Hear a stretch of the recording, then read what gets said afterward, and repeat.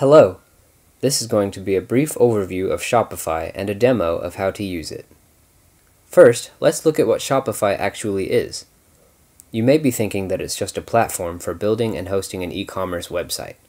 But while that is part of its functionality, it's actually more like a central cloud-based hub for managing and synchronizing all of your sales channels, physical and online. If you choose to have a website hosted on Shopify, that will be considered one of your sales channels. If you sell from other websites, such as social media, or have a brick and mortar selling location, you can add those as sales channels as well. I'll have more details on that later in this video. Let's go over the different plans offered by Shopify, all of which provide you with 24-7 email and chat support. At the lowest level, we have Shopify Starter, formerly known as Shopify Lite, at $5 per month or $1 for your first three months.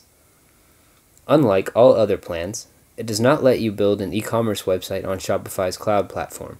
However, it does give you the ability to build Shopify's e-commerce functionality into your existing website and or into social media pages and apps such as Facebook's Messenger. The next step up is Basic Shopify, currently $26 per month. This plan allows you to build your own fully functioning e-commerce website and blog on the Shopify platform. It also gives you the ability to generate discount codes and shipping labels, tools for fraud detection, and features for reaching shoppers who left unpurchased items abandoned in their cart. The Shopify plan, which I like to call regular Shopify, is currently $71 per month. This plan has the ability to generate some nice professional reports and to create gift cards for your store. Advanced Shopify is currently $266 per month, and it interfaces with big third-party logistics entities to automatically calculate shipping costs to the customer's location. It also offers customizable reports and allows unlimited images and videos for each product.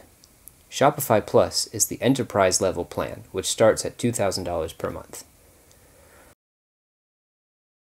Once you're signed into your Shopify store, the first thing you'll see is the home page. This will give you a checklist of setting up your store. Some tasks are necessary to get started selling with Shopify, and others are optional but recommended steps to take. Below the checklist are some buttons and links that will help you complete those setup tasks. As you can see here, there are some reminders and notifications about fulfilling orders and capturing payments, which I will talk more about later. In the top right corner is a button for the setup guide, which is the checklist shown on the home page. Clicking the button will show the same checklist in a sidebar so you can access it at any time. To show you an example, I have an unchecked item that says Add Brand Assets. I can click on it to see a more detailed description, click the button that says Add Brand Assets, and it will take me to the appropriate settings page for adding my store's logo, brand images, and colors. For now, let's go back to the home page.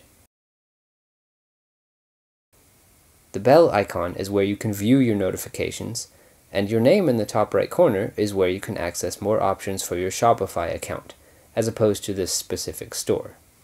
Speaking of which, in the top left corner, you can flip between different Shopify stores, if you have more than one Shopify store attached to your account. On the left navigation pane, below Home, you'll see the Orders page. Let's go there. Here you can see all the orders that have been placed to your Shopify store. An automatically assigned order number, the date and time, the customer who placed the order if they created and signed into an account, which sales channel the order came from, as you can connect multiple sales channels to your store, including your online store, which is your hosted e-commerce website, or it could also be your point of sale system if you've enabled Shopify POS. The total price for the order, payment status, which for this order is pending, fulfillment status, which for this one is unfulfilled, the number of items ordered, and the delivery method. For example, are you shipping it or are they walking it out of your store? Since this is not a live store, I created this order as an example. The payment status is pending because I've not yet set up my payment gateway. I didn't want to move money from my bank through Shopify and back into my bank and the fulfillment status is unfulfilled, which means I've not sent the item, which does not exist, to the customer, who is me. But if I click on either one of these status tags, it takes me to a page full of more information about this order. Here is the product that I ordered from myself. If I click Fulfill Item, I can mark the order as shipped to a specific address or pass it off to a third party for shipping. Looking at the payment status of pending, I can email an invoice with a message to the customer, and if I click Collect Payment, it will pass the order data to a payment gateway which I do not yet have set up. However, I can pretend that I handed myself $2.99 in cash, and I will mark this order as paid. Below, I can add comments and view the transaction history. Lastly, for orders, it's important to note that you can export your list of orders as a CSV file, and you can manually create an order if you make a sale outside of your Shopify system. Back in the navigation pane, you'll see pages for order drafts, which are orders you've manually created but not finalized, and abandoned checkouts, which, if you have Shopify Advanced or Shopify Plus, will allow you to automate messages to customers who add items to their cart and then don't finish the checkout process. The products page looks very similar to your orders page, as it shows a list of your products, of which I only have one. You can add a new product manually, giving it a name, description, images or videos, the sales price, toggle whether or not the item is taxable, set how much the item cost you, the SKU and or barcode number, how many items you have on hand at your various locations, how much the item weighs if it's a physical product, and very importantly, its variant options, if any, such as size or color.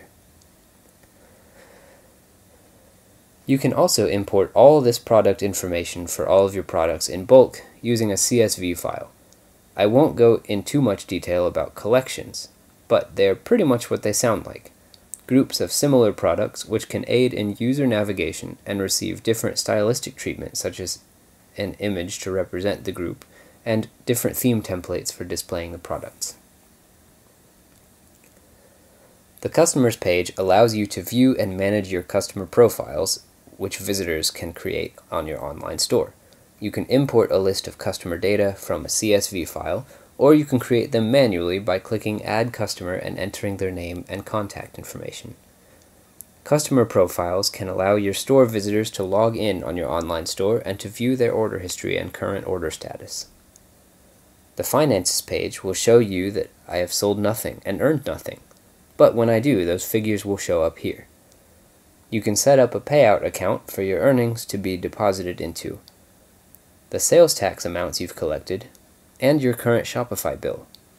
I can also click this month to date button and set time-based parameters on the financial information shown. The analytics page is similar, with both financial and marketing data, such as conversion rate and which devices and social channels your store visitors are coming from. Underneath Analytics, the Reports page allows you to view and print this information in report form. Shopify Advanced and Shopify Plus plans allow you to customize the information and layout of your reports. The marketing page shows you the same marketing date as is on the analytics page, and it allows you to customize your marketing outreach, such as email campaigns. This is another reason for having customer profiles with their contact information. I won't go into too much detail on Shopify marketing, but the Campaigns tab underneath the Marketing page is where you can view the campaigns you've created and any user data generated by each campaign. The Discounts page allows you to generate discount codes which can be applied by your store visitors at checkout. These are great for marketing promotional purposes. Below the main navigation pages, you can see your actual sales channels. Let's look at my online store. In the top right corner, you can click to view what your e-commerce website actually looks like. Back in our merchant panel, you can see that my site is currently using the origin theme. I can click the Customize button to edit the actual content of the website. For example, I will change the main header. The Save button is in the upper right hand corner. To exit the editor, I will go to the upper left.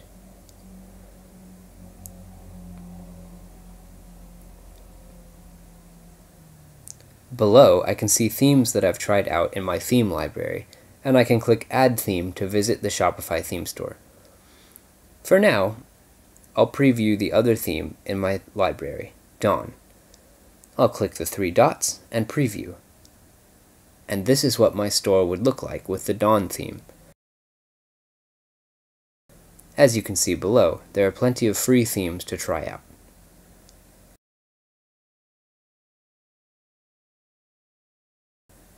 If you've added the point of sale channel, you can manage your store's staff members and their permissions within the Shopify point of sale mobile app, which should be installed on the mobile device you're using as a register. Shopify POS Lite is free to use with any Shopify plan, but if you're paying for Shopify POS Pro, you can add more than one in person selling location.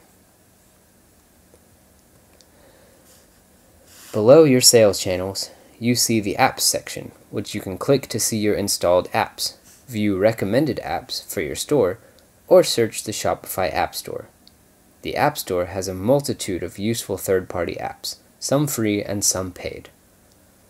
Back in our Merchant panel, we can wrap up this demo by browsing the settings, found in the bottom left corner. You can edit your store details, including your contact information and store name.